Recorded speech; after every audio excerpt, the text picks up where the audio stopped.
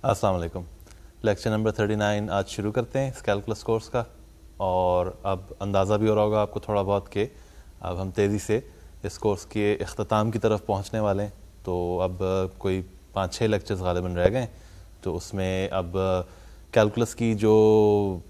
कहना चाहिए heavy duty heavy weights जो बातें हैं, वो हम कुछ शुरू करेंगे। जो बेसिक बेबी कैलकुलस थी, जिसे हम कहना चाहिए, मेरे ओपिनियन में कम अज़ कम जो बेबी कैलकुलस थी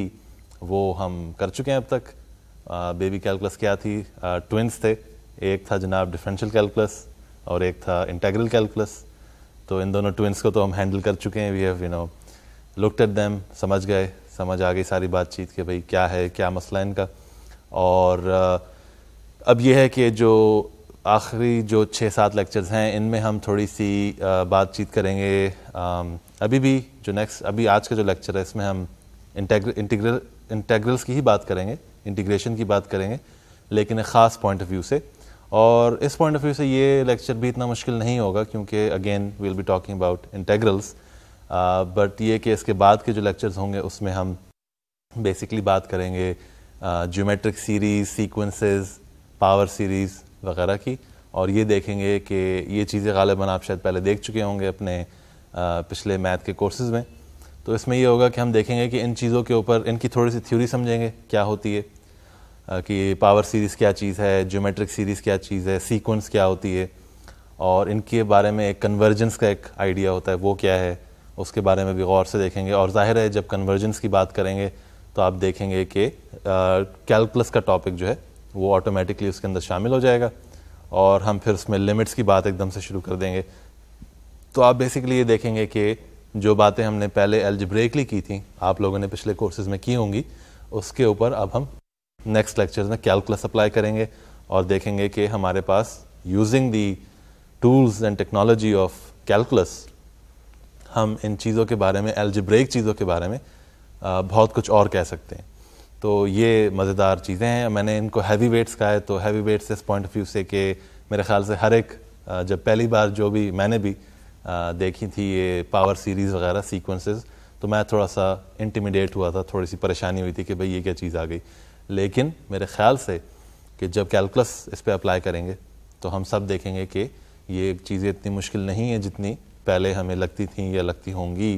गो के उम्मीद तो ये है कि in their original form algebraic form में भी ये इतनी मुश्किल नहीं लगनी चाहिए। बर अगेन अगर हैं तो कैलकुलस थोड़ी सी सिंप्लीफाई हो जाएँगी, थोड़ी अंडरस्टैंडिंग बेहतर हो जाएगी। तो उसकी बातचीत हम अब करने शुरू करेंगे लेकिन पहले हम बात करेंगे इंटेग्रल्स की इस लेक्चर में। आ, कौन से इंटेग्रल्स की? अब आप सोच रहे होंगे कि पिछले लेक्चर में तो मैंने कहा था कि भाई हम we are done with the integration part तो एज़ यूजल जैसे मैंने कई दफ़ा पहले भी किया है लेक्चर्स में कि मैं कहता हूँ आइए एग्ज़ाम्पल देखते हैं और पता चलता है कि हम एक और थ्योरेटिकल बात करते हैं। तो उसी तरह से यहाँ पे वही सिचुएशन हुई है कि हम करें ठीक है डेफिनेटली ख़त्म हो रही है बात लेकिन मैंने कहा था कि ख़त्म हो चुकी है इंटेग्रल्स की लेकिन एक चीज़ रह गई है जिसको आज हम देखेंगे। और रियली really अगर देखा जाए तो आज का टॉपिक जो है वो इंटेग्रल से तो है रिलेटेड uh, लेकिन उसके जो मेन थीम है वो बेसिकली लिमिट्स uh, के हवाले से है। तो यकीनन मेन थीम इंटेग्रल्स भी है उसमें शामिल लेकिन लिमिट्स का चूँकि आइडिया इसमें है तो uh, थोड़ी सी हम पीछे की तरफ़ जा रहे हैं डिफरेंशियल कैलकुलस की तरफ़। तो खैर वही बात है कि it's a mixture of both differential and integral calculus और वही बात है कि हम जो पुराने ट्विंस जिसे मैं कह रहा था अभी बेबी कैलकुलस के, वो हमने देखे थे, वो उनको फिर से देख लेते हैं एक तरह के कॉम्बिनेशन में, यानी हम देखेंगे दोनों एक साथ आ रहे हैं। और फिर उसके बाद हम देखेंगे आगे चल के application of this calculus to other stuff वही बात है कि जो कन्वर्जेंस वगैरह की हम बात करेंगे आगे चल के सीक्वेंसेस और सीरीज़ की, उसमें भी यकीनन कैलकुलस अप्लाई होगा इंटेग्रेशन अप्लाई होगी। डिफ्रेंसीशन अप्लाई होगी लिमिट्स अप्लाई होंगे, लेकिन चूँकि अब हम इतनी अच्छी तरह समझ चुके हैं इन सारी चीज़ों को तो हमें इतना मुश्किल नहीं लगेगा बाकी चीज़ों के बारे में, बात करने करने के बारे में, हमें इतनी परेशानी नहीं होगी। अच्छा जी तो ये तो हो गई थोड़ी सी आज की रैमलिंग जो करनी थी मुझे शुरू में लेक्चर के, और अब हम शुरू करते हैं आज का लेक्चर जो क्या टॉपिक है उसका? तो उसका बेसिकली टॉपिक है इम प्रॉपर इंटेग्रल्स एक ख़ास किस्म के इंटेग्रल्स होते हैं, उनको इम प्रॉपर कहला, कहा जाता है। और क्या वजह है कि इन्हें इम प्रॉपर कहते हैं? और सवाल ये है कि what are proper integrals and what are improper integrals तो अभी जब हम डिफाइन करेंगे इम्प्रॉपर इम्प्रॉपर इंटेग्रल्स को तो ऑटोमेटिकली समझ आ जाएगा कि प्रॉपर इंटेग्रल्स क्या, कौन से होने चाहिए और क्या होने चाहिए। तो आइए थोड़ी सी कुछ चीज़ें लिखते हैं और देखते हैं कि आज क्या बातचीत करेंगे हम। तो जनाब टॉपिक है आज का इम्प्रॉपर इंटेग्रल्स और आपके दो बेसिकली टॉपिक्स हैं दो एजेंडा पे दो पॉइंट्स हैं। एक है जनाब इंटेग्रल्स ओवर इन्फिनिट इंटरवल्स तो ये जो पहली चीज़ है इंटेग्रल्स ओवर इन्फिनिट इंटरवल्स ये एक किस्म का इम्प्रॉपर इंटेग्रल है। इसको देखेंगे थोड़ी डिटेल में। इसके बाद हम देखते हैं जनाब integrals whose integrands become infinite और इनके बारे में भी देखेंगे। ये भी ज़ाहिर है इम्प्रॉपर इंटेग्रल्स हैं। तो इसका क्या मतलब होता है? That too is something we will see today अच्छा जी तो ये हमने देख ली दो टाइप की चीज़ें, दो टाइप के इंटेग्रल्स जिनके बारे में आज बात करेंगे हम। तो सबसे पहले जो है, वो देखते हैं इंटेग्रल जिसमें हमने कहा था कि एक ऐसा इंटेग्रल होगा जो डिफाइंड होगा एक इन्फिनिट इंटरवल के ऊपर। तो इससे क्या मुराद है? यानी पहले हमने किस टाइप के इंटेग्रल्स देखे थे? ये सवाल यहाँ पे उठाना चाहिए। आपको याद होगा कि हमने एक जनरल इनडेफिनेट इंटेग्रल जिसे हम कहते थे, वो देखा था। वो हमने इंटरप्रेट किया था as the anti derivative of a function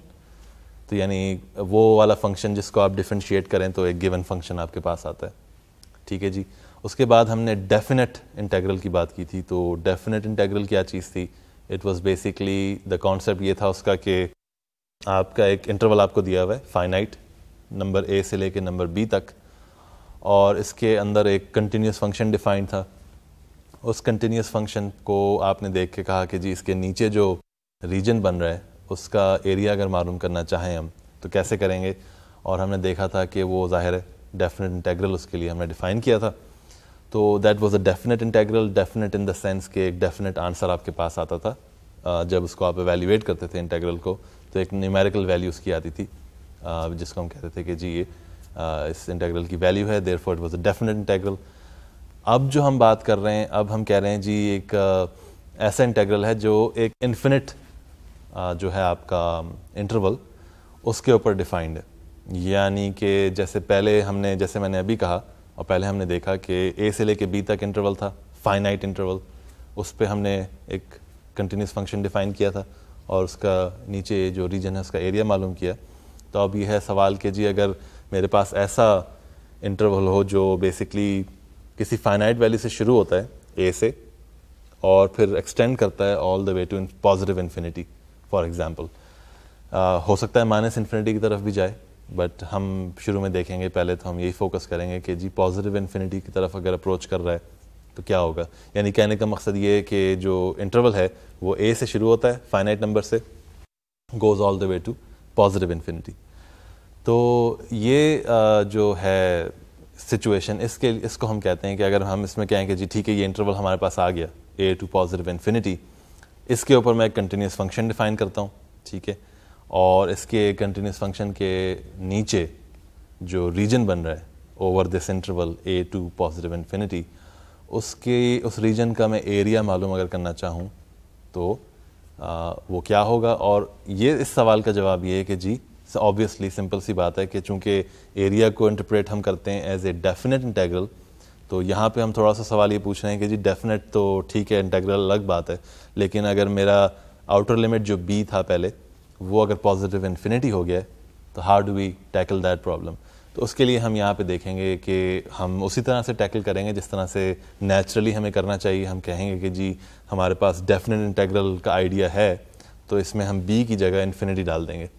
ठीक है? और हम अपना इंटेग्रल सॉल्व कर लेंगे। तो यहाँ पे सवाल ये पैदा होता है कि क्या ऐसा इंटेग्रल सॉल्व होता भी है या नहीं होता? And that is the whole idea that we want to discuss in this lecture तो ये फिर आज थोड़ा सा शुरू करते हैं कुछ चीज़ें लिखना शुरू करते हैं। ऐसा करते हैं कि डेफिनेट इंटेग्रल पहले लिख लेते हैं ठीक है जी और उसके बाद फिर देखते हैं कि इससे हम एक इम्प्रॉपर इंटेग्रल कैसे डिफाइन करेंगे। तो आइए देखते हैं। uh, सबसे पहले देखें कि let's say we have a continuous function f and as we have seen before that when we write down the definite integral a to b f of x d x इसको हमने जब भी पहले लिखा था तो यही असूम किया था कि जो इंटरवल है ए से लेके बी तक, वो एक फाइनाइट इंटरवल है। तो सवाल यहाँ पे अब ये इंट्रोड्यूस हम करना चाह रहे हैं कि what if we look at the interval the number a all the way to positive infinity and therefore if I am looking at this integral at this interval then I should have the corresponding integral as integral a to all the way to positive infinity f of x dx उसी तरह जिस तरह पहले मैंने a to b लिखा था अब मैंने लिख दिया है a to positive infinity तो ये जनाब थोड़ी सी चीज़ें हमने लिखी और यहाँ से थोड़ा सा आपको आइडिया हुआ होगा कि क्या है ये इम्प्रॉपर इंटेग्रल डेफिनेट इंटेग्रल हमें पता है एक फाइनाइट इंटरवल पर डिफाइंड होता है represents the area the uh, graph of a continuous function अब हमने कहा जी इंटरवल जो है वो इन्फिनिट कर दें। One of the end points goes to positive infinity जो आउटर पॉइंट था. So now we defining a new interval integral which is what we call the improper integral तो अब सवाल ये कि ठीक है डिफ़ाइन तो कर दिया हमने नेचुरली uh, क्योंकि डेफिनेट इंटेग्रल की एग्जांपल हमारे सामने है तो हमने कहा जी बी की जगह पॉजिटिव इन्फिनिटी डाल दें. अब सवाल ये है कि जी इसको एवेल्यूएट कैसे कर सकते हैं? और इसकी फिर इंटरप्रटेशंस क्या होंगी? व्हाट डज़ इट मीन पहले तो ये था कि डेफिनेट इंटेग्रल में जब हम इंटीग्रेट करते हैं तो हम कहते हैं जवाब आया, ये एक है आपके पास area under the graph of the given function right तो अब इसका मतलब क्या होगा यहाँ पे जब हम एक इन्फिनिट इंटरवल पे बात करेंगे? तो ये कुछ चीज़ें जो डिस्कस करते हैं अभी। तो इस इन चीज़ों को डिस्कस करने के लिए ऐसा करते हैं कि एक डेफिनेशन बनाते हैं। ठीक है जी? क्योंकि हमने एक टर्म तो अभी लिख दी थी थोड़ी देर पहले कि जी डेफिनेट इंटेग्रल हमारे पास है ए से बी तक और f of x d x infinite interval की बात हुई तो हमने कहा, कोई बात नहीं ए से लेके पॉजिटिव इन्फिनिटी तक इन्फिनिटी तक आप इंटीग्रेट कर लें f of x d x को. लेकिन जब हमने ये लिखा कि integral from a to positive infinity f of x d x तो हमने ये तो लिख दिया कि ठीक है, ये I have written that down it's some terminology but what does it stand for what does it mean you have to define it somehow क्योंकि डेफिनेशन डेफिनेट इंटेग्रल की तो हमें पता है, अगर आपको याद हो कि this was a limit of a certain summation correct हमने ये बहुत दफ़ा देखा है बल्कि पिछले सारे लेक्चर्स में यही देखा था कि एक ख़ास किस्म की समेशन लेते हैं और उसका लिमिट लेते हैं तो डेफिनेट इंटेग्रल आपके पास आ जाता है। ये जो नया इंटेग्रल है, जिसे हम इम्प्रॉपर इंटेग्रल कह रहे हैं ऑफ़ द फ़र्स्ट टाइप ये जो अभी देखी, इसको हम किस तरह डिफाइन करेंगे? डिफाइन कर लेते हैं and we'll see that it actually make sense तो आइए लिख लेते हैं इसको डेफिनेशन को। इसकी डेफिनेशन इसको इस तरह से लिखते हैं कि जी, जो आपका इंटेग्रल है ए से लेके पॉजिटिव इन्फिनिटी तक f of x d x का, इसको हम डिफाइन करते हैं as a limit as L L to positive infinity of the the a to all the way to L f of x d x ठीक है जी तो ये आपकी डेफिनेशन हो गई इस इम्प्रॉपर इंटेग्रल की। तो डेफिनेशन से मतलब ये है कि hopefully now we will be able to do some calculations with this definition तो इसमें ये क्या है? हमने डेफिनेशन में क्या देखा है? यही देखा है कि जी जो इंटेग्रल uh, है वो अगर एक इन्फिनिट इंटर, इंटरवल पे आपने डिफाइन किया था ए से लेके पॉजिटिव इन्फिनिटी तक जिसमें एक continuous function f of x है तो इसको कैसे टैकल करेंगे? इसको हम ऐसे करेंगे कहेंगे कि जी जो पॉजिटिव इन्फिनिटी आपने लिखा हुआ था अपर लिमिट के तौर पे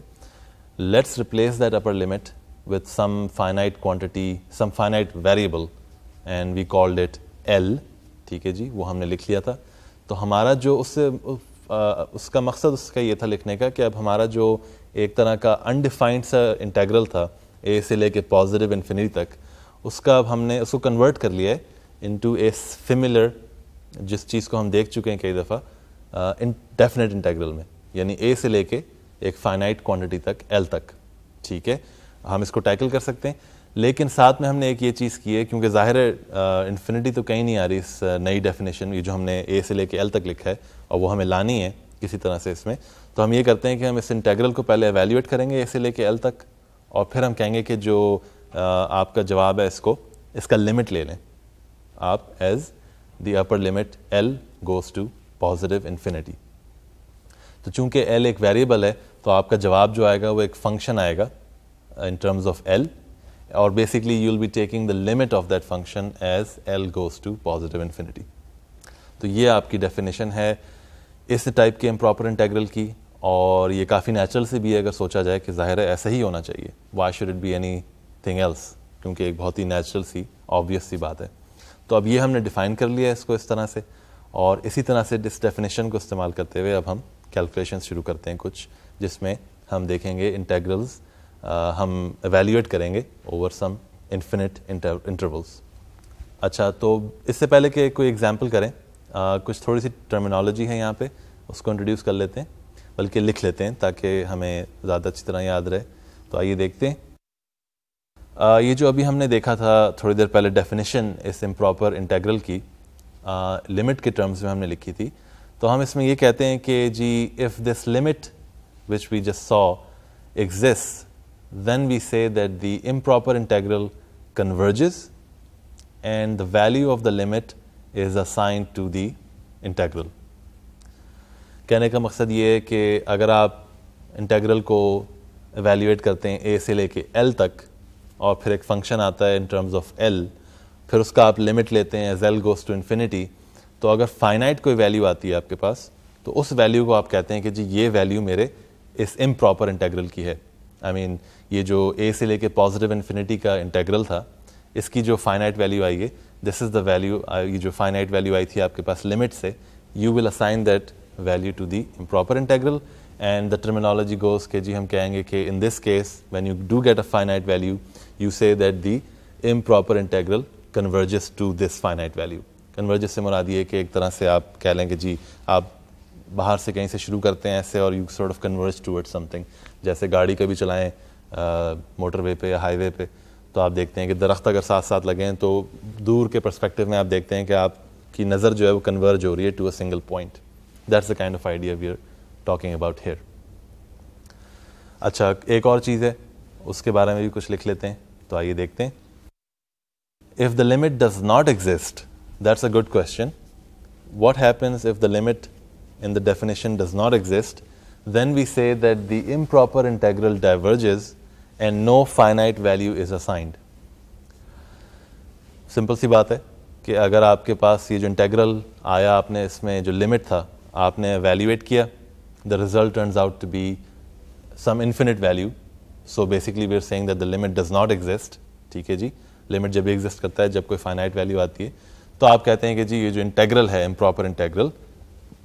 it's actually diverging it diverges and there is no finite value to it and we don't have an answer तो ये कुछ एक थोड़ी सी टर्मिनोलॉजीज थी जो अभी हमें हेल्प करेंगी जब हम कैलकुलेशंस करते हैं यूजिंग दिस डेफिनेशन साथ ही साथ ये भी कर लेते हैं कि जी, अब हम चूँकि बात कर ही रहे हैं इस इम्प्रॉपर इंटेग्रल की और उसकी डेफिनेशन जो हमने बनाई है तो ये जो डेफिनेशन है what does there actually represent यानी जो डेफ लिमिट ले रहे हैं आप एक डेफिनेट इंटेग्रल का from a to L what does that integral represent well it basically represents the area under the curve area under the graph of the continuous function f over the interval a to L और उसके बाद हम ये कहते हैं, जब limit लेते हैं कि let L go to infinity so basically आप एक तरह से आप कह रहे हैं कि जी एल जो है वो कोई भी मैं अपनी वैल्यू ले सकता हूँ, ठीक है? इंटरवल बहुत छोटा भी हो सकता है, और उसके बाद मैं कहता हूँ एल को डाइवर्ज कर दें towards infinity so that's the idea और इसकी एक पिक्चर बना लेते हैं shows you what basically this integral represents तो ये आपके सामने एक तस्वीर है जनाब तो इसमें we can see that the integral from the definite integral before the limit before we take the limit, uh, which is a to L f of x dx, represents the area under the curve of the, gra- uh, the function f of x over the interval a to L.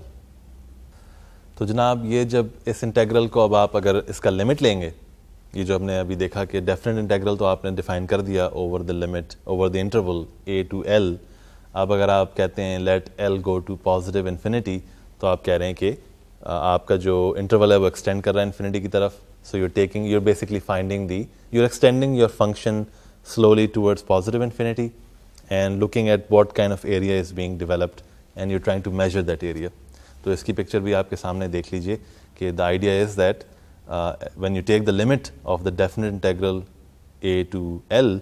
and you get basically the idea तो इस interval पे आप मालूम करना चाह रहे हैं area under the given curve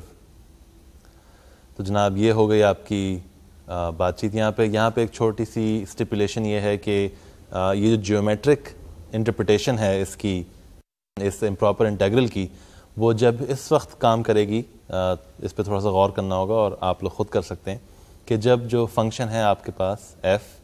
that function is obviously it has to be continuous क्योंकि वो this this is how we define definite integrals first of all और उसके बाद ये होगा कि ये फ़ंक्शन जो है ये नॉन नेगेटिव हो। यानी मतलब ये कि नॉन नेगेटिव से कि इसकी जो वैल्यूज़ हैं they should be above the x axis तब ये डेफिनेशन जो ज्योमेट्रिक इंटरप्रिटेशन है इसकी, इस डेफिनेशन की दैट विल मेक सेंस ठीक है जी? तो अब ऐसा करते हैं कि ये हमने बातचीत कर ली, थोड़ी सी डेफिनेशन बना ली कुछ टर्मिनोलॉजीज़ भी कर ली हैं अब ये करते हैं कि अब एग्ज़ाम्पल जिसकी थोड़ी देर पहले बात की थी, वो अब शुरू करते हैं और देखते हैं कि कैसे कैलकुलेशन की जाती है जब एक इम्प्रॉपर इंटेग्रल आपके सामने हो। आइए देखते हैं। ये जनाब एग्ज़ाम्पल है आपके सामने। The integral one to positive infinity d x over x square यानी कहने का मकसद है कि integral one to positive infinity of one over x square d x it's the same thing तो इसको हम ऐसे मालूम करेंगे वैल्यूएट करेंगे इस इम्प्रॉपर इंटेग्रल को कि जी, पहले हम कहते हैं कि let's rewrite this as first of all a finite I am sorry मतलब है कि as a definite integral and the way we do it is we say that replace it with integral 1 all the way to L dx over x square and we know how to evaluate this integral it's a definite integral this equals minus 1 over x ठीक है जी power rule apply कर रहे हैं इस पर तो that's the result you get and you are using the fundamental theorem of calculus जो हमने काफ़ी पहले देखा था और उसी से हमने डिफाइन किया था डेफिनेट इंटेग्रल Simple सा फैक्ट है कि आप एवेल्यूएट करना चाह रहे हैं इसको on the upper and lower limits और वो उसका एक फार्मूला था and that formula gives you minus one over L L is the upper limit minus the evaluation of this function minus 1 over x at the lower limit, which is 1 so you get a minus 1 और इसको simplify करें तो आपका, आपके पास result आता है 1 minus one over L लिहाजा अब हम कह सकते हैं कि जी जो ओरिजिनल इंटेग्रल है प्रॉपर वन से लेके पॉजिटिव इन्फिनिटी तक d x over x square का ये बराबर है limit as L goes to positive infinity of the definite integral one to L d x over x square we know that this is just equal to the limit as L goes to positive infinity of the uh, function 1 minus 1 over L. यहाँ पे simple सी बात है कि 1 over L में अगर जो हमें पता है लिमिट्स कैसे लेते हैं, उसके कुछ रूल्स थे। तो यहाँ पे अगर एल वन ओवर एल की जगह इसकी एल की वैल्यू जो है वो इन्फिनिटी की तरफ़ जा रही है, आप वैल्यूज़ प्लग इन करके देख लीजिए तो रिज़ल्ट आता है zero because one over some huge number is zero and the final result is just equal to one तो जनाब, ये आपके पास आ गई एक example of how to evaluate an improper integral using the definition we just made और इसमें ये देखें कि इस एग्ज़ाम्पल में चूँकि इसकी वैल्यू वन आई थी तो अब हम कह सकते हैं कि जो the given integral the given improper integral converges to the value one so that's good क्योंकि अब इस इम्प्रॉपर इंटेग्रल की वैल्यू एक सिंगल नंबर फाइनाइट नंबर आ रही है, जिसको हम कहते हैं कि असाइन कर देते हैं। That's the value we are looking at अच्छा जी, एक और एग्ज़ाम्पल करते हैं। तो इसमें भी एक इम्प्रॉपर इंटेग्रल है और उसको एवेल्यूएट करके देखते हैं क्या होता है। तो आइए देखते हैं। ये जनाब आपके सामने है example evaluate the improper integral one to positive infinity of the function one over x d x या जिसको हम लिख सकते हैं as d x over x also तो इसका सोल्यूशन हम इस तरह करेंगे कि जी एक ही स्टेप में कर लेते हैं, बजाय इसके कि हम पहले डेफिनेट इंटेग्रल को एवेल्यूएट करें वन से लेके एल तक. Let's just do it in one step and the way to do it is to say the integral 1 to positive infinity dx over x equals limit as L goes to plus infinity, positive infinity, of the integral 1 to L dx over x equals the limit as L goes to infinity of log natural of x evaluated at 1 and L uh, using the fundamental theorem, of course, and we get the limit as L goes to positive infinity of the log natural of L यहाँ से अब ये कहने, देखने की बात है कि असूलन तो log natural L minus log natural one होना चाहिए था, लेकिन लॉग नेचुरल वन जो है वो ज़ीरो होता है, लिहाजा we don't worry about it we just get the limit as L goes to positive infinity of log natural L and from what we know of these things we see that this is equal to positive infinity तो ये log natural L का जो हमने limit लिया तो ये plus infinity आया। इसमें ये है कि इसको ग्राफ करके अगर आप देखें if you graph the function log natural x और फिर कहें let x go to positive infinity तो आप देखेंगे कि वाकई the limit no goes to positive infinity y values जो हैं in correspondence to x going to positive infinity also go to positive infinity लिहाजा हमारे पास एक इसका जवाब आ रहा है positive infinity ka, which means that this improper integral that we just saw actually diverges and it does not have any finite value so we just say that the integral diverges. अच्छा जी तो ये दो examples तो हमने देख ली ठीक है? आ, इन दो एग्जाम्पल्स में एक बड़े मज़े की बात है बल्कि ख़ास तौर पर जो नेक्स्ट एग्ज़ाम्पल हमने की सेकंड एग्ज़ाम्पल जो की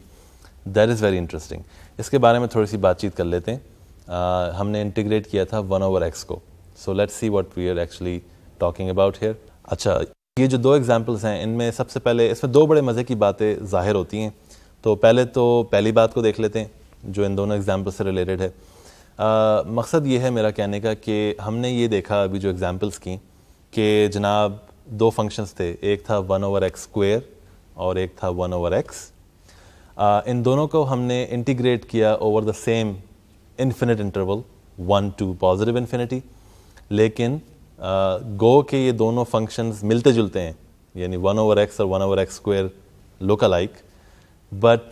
there such a big difference in the two that one of them gave a finite answer लेकिन दूसरी तरफ़ जो आपका दूसरा फ़ंक्शन था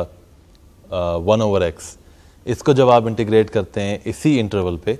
तो एक डाइवर्जेंट आंसर आता है, एक नॉन फाइनाइट आंसर आता है तो जिसको हम पॉजिटिव इन्फिनिटी के तौर पे हमने लिखा था तो सवाल ये है कि यहाँ पे ये क्या सिचुएशन है? क्या हो रहा है यहाँ पे? वाई इज़ इट के एक मिलते जुलते फ़ंक्शंस एक ही इंटरवल पे आप इंटीग्रेट करते हैं तो एक का फाइनाइट आंसर आता है, दूसरे का एक का कन्वर्जेंट होता है सोल्यूशन एक का डाइवर्जेंट होता है, एक का फाइनाइट आंसर है, एक का नॉन फाइनाइट या इन्फिनिट आंसर तो इसको समझने के लिए मेरे ख्याल से सबसे पहली बात तो ये कि आपको अप्रिशिएट करना चाहिए कि वाकई ये एक अच्छा सवाल है कि ये क्या सिचुएशन है कि मिलते जुलते फ़ंक्शन है लेकिन एक में स्क्वायर कर दें तो एक उसको इंटीग्रेट करें स्क्वायर करके डिनोमिनेटर को तो फाइनाइट आ जाता है जवाब दूसरी सूरत में नहीं आता जहाँ पे स्क्वायर नहीं करते। तो इसको समझने के लिए आ, हमें ऐसा करते हैं कि सबसे पहले तो एक ज्योमेट्रिक इंटरप्रटेशन देख लेते हैं। Let's draw some pictures and see what's going on तो ये आपके सामने जो तस्वीर है इस पर नोट कीजिए कि ये दोनों जो ग्राफ्स हैं दोनों जो फ़ंक्शंस हैं y equals one over x square और y equals one over x. इन दोनों के ग्राफ्स आपके सामने हैं।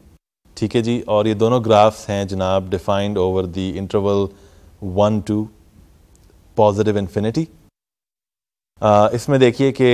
ग्राफ से ज़ाहिर होता है कि जो वन ओवर एक्स का ग्राफ है, वो उसके कंपैरिजन में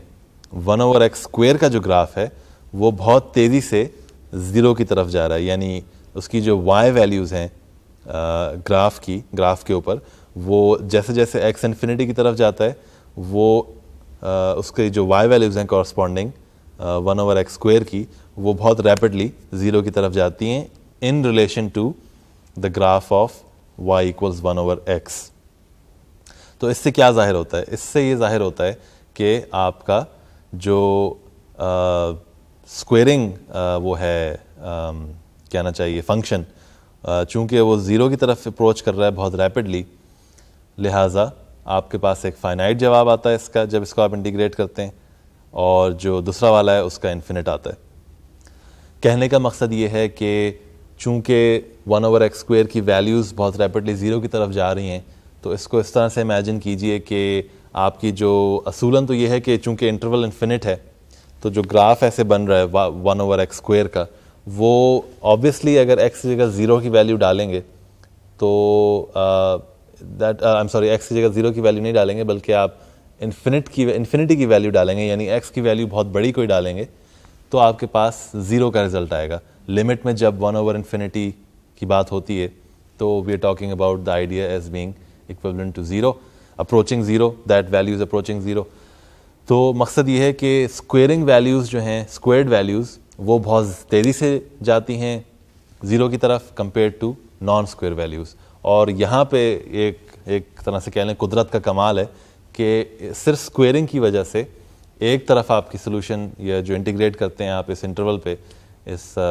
फ़ंक्शन को तो जवाब जो आता है स्क्वेयरिंग में फ़ंक्शन में वो आपका फाइनाइट हो जाता है just because of the fact कि वो बहुत तेज़ी से ज़ीरो की तरफ़ अप्रोच कर रही हैं वैल्यूज़ और जब आप नॉन स्क्वेयर देखते हैं, यानी उसका वन ओवर एक्स देखते हैं तो चूँकि वो स्लोली ज़ीरो की तरफ़ अप्रोच कर रही है, लिहाजा यू गेट अ इन्फिनिट यानी डाइवर्जेंट सोल्यूशन तो ये एक बड़ी मज़ेदार बात है, सोचने की बात है कि काफ़ी सोचने की बात है बल्कि इसके, यानी कि मैंने तो एक एक्सप्लेनेशन आपको अपनी तरफ़ से दे दी है, लेकिन आप खुद अगर गौर करें कि वाकई ये क्या बात हुई कि ठीक है, एक तेज़ी से अप्रोच कर रहा है ज़ीरो की तरफ़, और दूसरा नहीं कर रहा तो इतना बड़ा फ़र्क पड़ जाएगा कि एक तरफ़ आपका फाइनाइट आंसर आ गया एक तरफ़ infinite something to really think about for a while तो आप इसके बारे में सोचिएगा। मैं भी सोचता रहता हूँ। It's an interesting fact but definitely जितना इस पर गौर करेंगे उतना ही ज़्यादा इसमें से आपको एंटरटेनमेंट हासिल होगी मेरे ख्याल से। अच्छा जी तो ये तो आ, हमने देख ली एक इंटरेस्टिंग और एंटरटेनिंग सी बात जो इस इम्प्रॉपर इंटेग्रल से आ, निकली थी। एक और बड़े मज़े की बात है यहाँ पे जो इम्प्रॉपर इंटेग्रल्स के ही हवाले से निकलती है तो इसको भी देख लेते हैं। अब हम चूँकि इंटीग्रेशन की बात कर रहे हैं तो अभी जो एग्जांपल्स की इसमें हमने इसको इंटरप्रेट किया था as finding the area under those two specific curves यानी वन ओवर एक्स और वन ओवर एक्स स्क्वेयर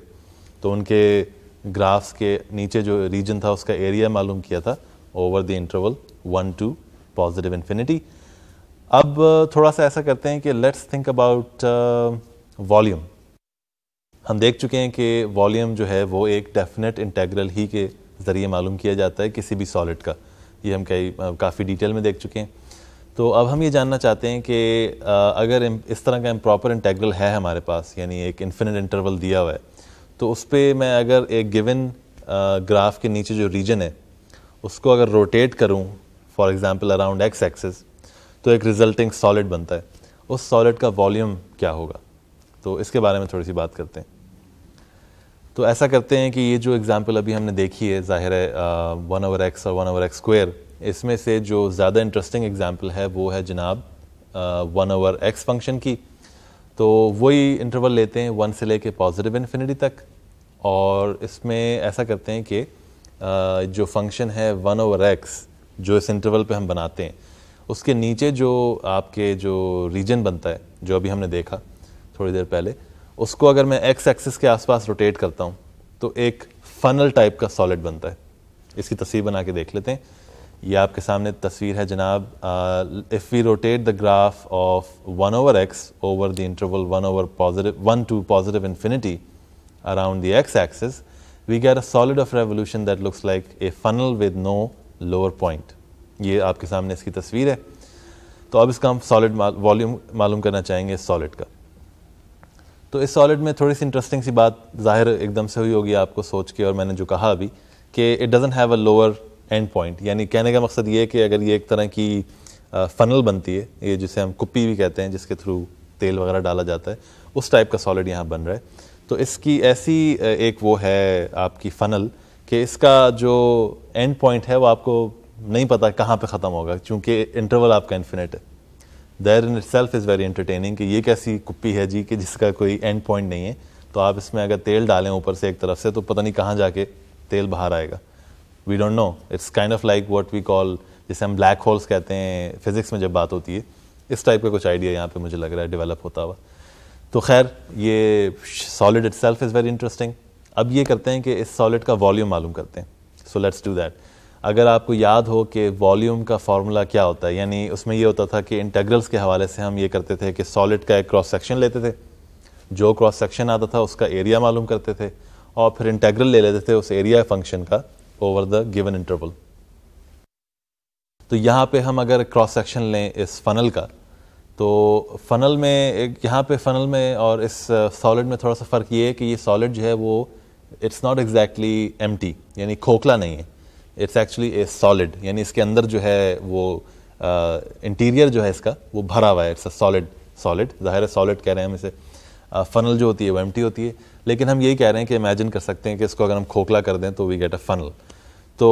आ, लेकिन फ़र्क यहाँ ये पड़ता है कि चूँकि ये सॉलिड है तो अगर इसका क्रॉस सेक्शन लूँगा तो एक सर्कल आएगा मेरे पास। ठीक है? एक सर्कुलर रीजन आएगा। ये जिसको हमने कहा था एक डिस्क ठीक है जी? तो इस डिस्क का हम आ, अपना कैसे मालूम करेंगे आ, एरिया? चूँकि मकसद ये है कि इस डिस्क का अगर एरिया मालूम हो जाए फिर हम इसको इंटीग्रेट कर लेंगे तो वॉल्यूम आ जाएगा। एरिया बड़ा सिंपल सा होता है। Area of a disc is defined by pi multiplied by the radius squared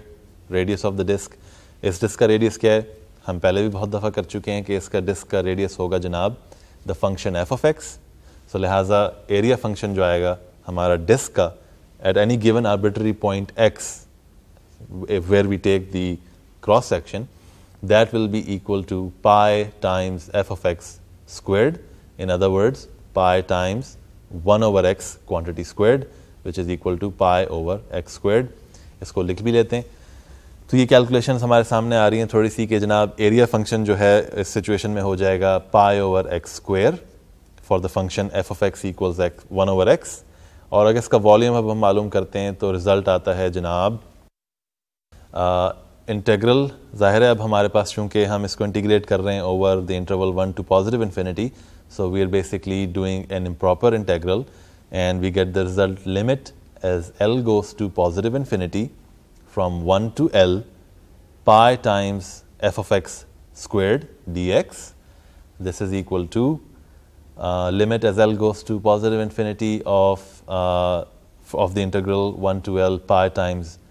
uh, 1 over x squared quantity squared. Uh, I'm sorry, pi times 1 over x quantity squared. और ये limit बन जाता है L as goes to infinity of the integral pi over x square dx from 1 to L. The result is the limit of uh, as L goes to infinity of minus pi over L plus pi over 1. यहाँ पे basically मैंने इसको evaluate कर लिया है result को अपने over the integral over the limits end points of the definite integral one and L और इसका लिमिट जब आप लेंगे तो आप देखेंगे कि आपके पास रिज़ल्ट आता है पाए अच्छा जी तो हमने कैलकुलेशन कर ली यहाँ पे। आ, हमने देखा कि इसका रिज़ल्ट आया। वॉल्यूम जो मालूम किया सॉलिड का वो था पाए तो पाए जो है वो एक फाइनाइट नंबर है ज़ाहिर है। तो हम कह सकते हैं कि जो लिमिट था ये कन्वर्जेंट था। आई I मीन mean, जो इम्प्रॉपर इंटेग्रल था वो एक कन्वर्जेंट इंटेग्रल था। और हमारे पास एक जनाब फाइनाइट वैल्यू आई इसकी पाए तो अब हमने इस आ, ऐसी एक फनल या ऐसा एक सॉलिड का वॉल्यूम मालूम किया है जो बेसिकली जिसका कोई आखिर का हमें कुछ पता नहीं कि वो कहाँ जाके बंद होगी। तो ये भी कितने मज़े की बात है कि मैथमेटिक्स कह रही है कि एक ऐसी फनल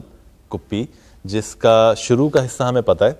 कहाँ स्टार्ट होता है। लेकिन हमें ये नहीं पता कि उसका दूसरा आखिरी हिस्सा जहाँ से हम जब तेल डालते हैं, ऊपर से तो निकलता है नीचे जाके तो वो निचला हिस्सा किधर है? We don't know it's going to positive infinity yet even though we don't know what the end point is we can still find the volume. We can find how much stuff can be be into this thing. In this funnel यानी कहने का मकसद ये है कि अगर मैं उसका एंड पॉइंट आगे से हाथ कहीं रख के बंद कर देता और उसमें तेल भर देता इस फनल में तो मुझे पता चल जाता कि कितना इसके अंदर आ, मैं तेल भर सकता हूँ। लेकिन प्रॉब्लम ये है कि चूँकि मुझे पता ही नहीं एंड पॉइंट का है तो असूलन तो ये होना चाहिए कि I should not be able to find the volume because मैं हाथ कैसे रखूँगा एंड पॉइंट पे। लेकिन मैथमेटिक्स कहती है कि you don't have to do that just using simple stuff we just saw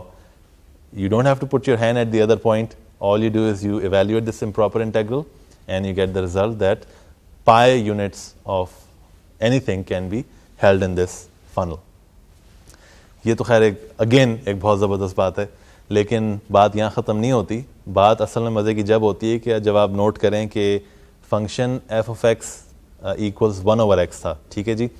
इसका वॉल्यूम तो आपने मालूम कर लिया of the solid generated by it ठीक है? By the region rotation of the region under the curve of one over x ठीक है? हमने रोटेट किया, हमारे पास सॉलिड आया we found the volume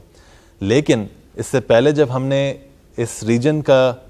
area मालूम करने की कोशिश की थी तो एक डाइवर्जेंट आंसर आया था और उसका मतलब ये था कि हम कोई फाइनाइट वैल्यू नहीं दे सकते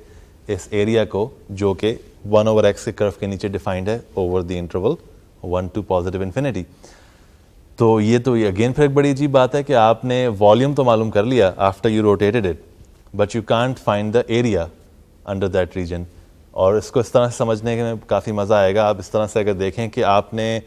इस इस फ़ंक्शन के बेस जो बेसिस पे आपने सॉलिड जनरेट किया था, उसका वॉल्यूम तो आपने मालूम कर लिया कि उसके अंदर कितना पेंट भर सकते हैं मिसाल के तौर पे। How much paint can I hold in this solid but I can never ever paint the inside this funnel so this is in itself a very interesting concept कि इसके अंदर मैं पेंट तो होल्ड कर सकता हूँ, मुझे पता चल जाएगा कितना पेंट इसके अंदर डाला जा सकता है पाई यूनिट्स लेकिन I can never paint physically the inside of this solid that I got because I can not find the area under the region f of x equals one over x ठीक है जी? तो अब hopefully इस example के बाद, अब मैं काफ़ी नाराज़ होऊँगा अगर मैं किसी से सुनूं कि जी, ये मैथमेटिक्स जो है, ये बहुत बोरिंग सब्जेक्ट है, इसमें कोई इंटरेस्टिंग बात नहीं होती। इसके अंदर कितनी इंटरेस्टिंग बात है? यानी ये तो हद हो गई कि आपने वॉल्यूम मालूम कर लिया, लेकिन पेंट नहीं कर सकते। ये पता है कितना पेंट है, लेकिन उसके अंदर पेंट नहीं कर सकते क्योंकि it's not possible it's not mathematically possible so this is what जो मैंने पहले भी कई दफ़ा कहा है कि वो जो फ़ंक्शन एग्ज़ाम्पल दी थी स्पेयर के ऊपर फ़ंक्शन डिफाइन करें, और इस टाइप की चीज़ें। This is the kind of stuff वो तो हाई लेवल चीज़ थी कि जी, वो टोपोलॉजी आ जाती है, वो क्या चीज़ है, हमें नहीं पता। But using even basic calculus baby stuff we can see के there is so much interesting stuff to be done in mathematics and so much philosophically challenging stuff तो hopefully आप इसके ऊपर गौर फ़िक्र करेंगे।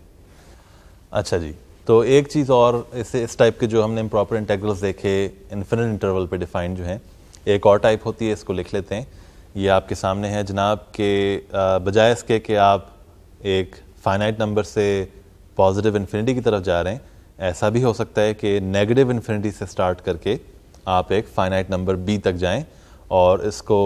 इंटीग्रेट करें किसी कंटिन्यूस फ़ंक्शन को इसके, इस इंटरवल पे तो आपको, इसको आप डिफाइन कर सकते हैं as the limit as l goes to negative infinity of the integral l to b f of x d x ठीक है जी तो ये सिंपल सी डेफिनेशन है वही डेफिनेशन है जो अभी हमने थोड़ी देर पहले देखी, लेकिन सिर्फ़ इंटरवल थोड़ा सा तब्दील हो गया इसकी एग्जाम्पल्स आप खुद कर लीजिएगा, कोई सवाल हो तो पूछ सकते हैं। हम नेक्स्ट टॉपिक पे अब चले जाते हैं आज के लेक्चर के, और इसकी बारे में थोड़ी सी बात करते हैं। नेक्स्ट और आखिरी जो टॉपिक है, वो है जनाब ऐसे इंटेग्रल्स जो कि एक ऐसा इंटेग्रल हो जिसके अंदर जो इंटीग्रेंड है जो फ़ंक्शन है जिसको आप इंटीग्रेट कर रहे हैं, वो अगर आप जिस इंटरवल पे इंटीग्रेट कर रहे हैं, उस इंटरवल पे अगर कहीं वो इन्फिनिट हो जाए तो इस सिचुएशन में हम क्या करते हैं? मिसाल के तौर पे एक एग्जांपल लिख लेते हैं। ये देखिए कि आपके सामने एक फ़ंक्शन मैंने लिखा है जनाब ज़ीरो से लेके थ्री तक इसको मैं इंटीग्रेट कर रहा हूँ, और जो फ़ंक्शन है वो है one over x minus two to the power two thirds d x अच्छा इसमें ख़ास बात एक ये है, अगर आप नोट करें कि अगर एक्स की जगह मैं टू की वैल्यू डाल दूँ यहाँ पे तो क्या होगा? तो ये होगा कि वन ओवर ज़ीरो का सिचुएशन क्रिएट हो जाएगी और एक तरह की एसमटोट क्रिएट होगा यहाँ पे एट एक्स इक्वल्स टू और जो फ़ंक्शन है, वो अनबाउंडेड वैल्यूज़ यानी इन्फिनिटी की तरफ़ डाइवर्ज करेगा एट एक्स इक्वल्स टू तो मकसद ये है कि अगर आप, बल्कि ये नोट करें कि एक बड़ी आसानी से मिस्टेक करने वाली बात है कि अगर आप ये ना नोट करें कि आपका फ़ंक्शन जो है, वो अनडिफाइंड हो जाता है किसी एक ऐसी पॉइंट पे, उस इंटरवल पे जिस पे आप उसको इंटीग्रेट कर रहे हैं तो एक प्रॉब्लम प्रॉब्लम क्रिएट हो सकती है। जवाब आपका बेसिकली गलत आएगा। तो अब जैसे ये सिचुएशन है, इसमें अब हम क्या कर सकते हैं? यानी एक ऐसा फ़ंक्शन है जो इंटीग्रेट करना है, लेकिन गिवन इंटरवल पे जिस पे हम इंटीग्रेट करेंगे, उस पर इसकी एक जगह पे इन्फिनिट वैल्यू हो जाती है। How do we get around it this is how we do it let's write it down अच्छा एग्ज़ाम्पल करने से पहले या कुछ मज़ीद बात करने से पहले ऐसे करते हैं कि कुछ पिक्चर्स बना लेते हैं और कुछ उसके रिलेटेड कुछ बातें जो हैं इस टाइप के इंटेग्रल्स की, वो लिख लेते हैं। तो आइए देखते हैं। यहाँ पे देखें कि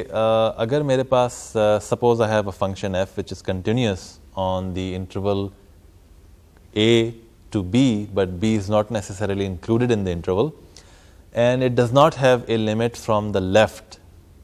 So we can define the improper integral of this type as a limit in the following way. Integral a to b f of x dx equals limit as L goes to b from the left side, negative side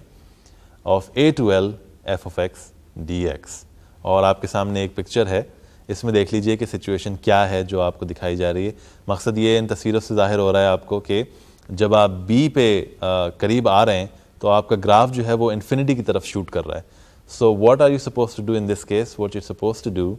is that you take define your integral in terms of a limit when the limit is taken from the left side as l approach the limit variable approach the outer end point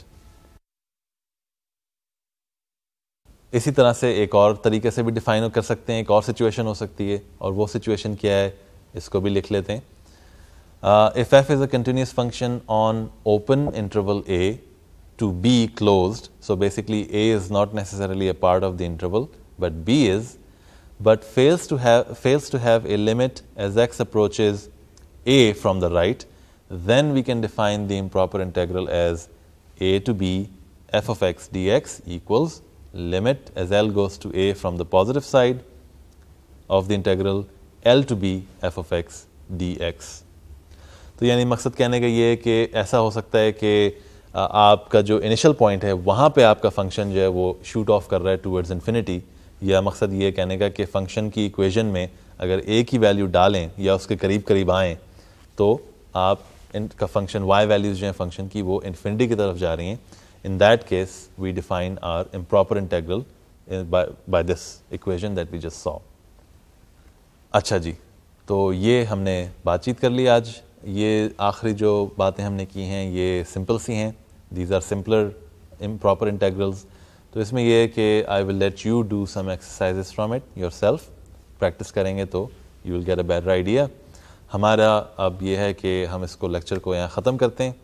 आज की बातें कुछ मज़ेदार थी मेरे ख्याल से। पहली बातें जो हमने की थी, जिसमें पहले टाइप के इम्प्रॉपर इंटेग्रल्स देखे, वहाँ पे वो फ़नल बनाई, जो कि बता सकते हैं उस फ़नल के अंदर कितना पेंट होल्ड कर सकते हैं, लेकिन फ़नल के अंदर का जो हिस्सा है उसको पेंट नहीं कर सकते। तो वो ज़्यादा इंटरेस्टिंग चीज़ थी, लेकिन ये कि ऑफ़ कोर्स निटी ग्रिटीज़ जो होती हैं टेक्निकल डिटेल्स वो भी देखी हमने।